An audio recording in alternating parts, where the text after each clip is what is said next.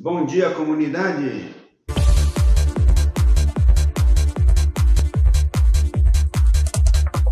Final da nossa paraxá, a Torá conta para nós sobre as oferendas que eram feitas no templo.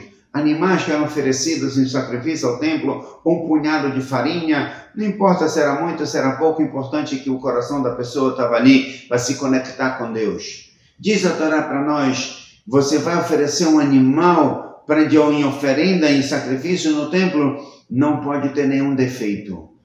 Não pode ter nenhum defeito se ele for rengo, se ele for olho torto, se ele for isso, porque qualquer defeito não oferece para Deus. Por quê? Por que não oferece para Deus um animal que tem defeito? O que a gente tem contra os aleijados, contra os animais aleijados, os animais que nasceram com defeito, o defeito da própria natureza? O que, que tem de errado? O que tem de errado é porque todos os ossos animais não têm defeito. Tem um que tem e um que não tem. Ah, então você vai oferecer para Deus aquele animal que tem um defeito e vai deixar o perfeitozinho para você? Como assim? Você é mais do que Deus? Diz a Torá para nós: o perfeito a gente vai dar para Deus. O imperfeito serve para a gente, sabe por quê? Porque Deus é perfeito. Então, para Ele, Ele merece o perfeito. Nós somos perfeitos, nós não temos um montão de defeitos, a gente pode ficar com o animal com defeitos para a gente. A gente não precisa querer o, o, o supra-sumo para a gente, para Deus a gente dá uma coisa de segunda ou de terceira categoria. Hasve Shalom. Pelo contrário, Deus ele é o principal, ele é a vida, ele é a fonte de tudo, a fonte da vida, da existência de, todo, de todos nós, de todo mundo.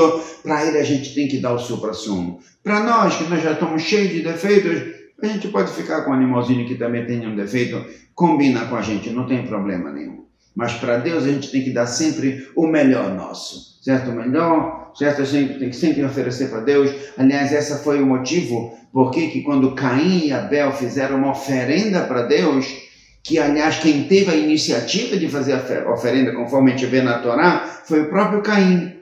E Abel viu Caim fazendo oferenda e ofereceu também. E a, e a Torá conta para nós que Deus aceitou a oferenda de Abel e não aceitou a oferenda de Caim. Pergunta todos sábios por que, que não aceitou, se os dois tiveram a vontade de oferecer alguma coisa para Deus, por que, que não aceitou?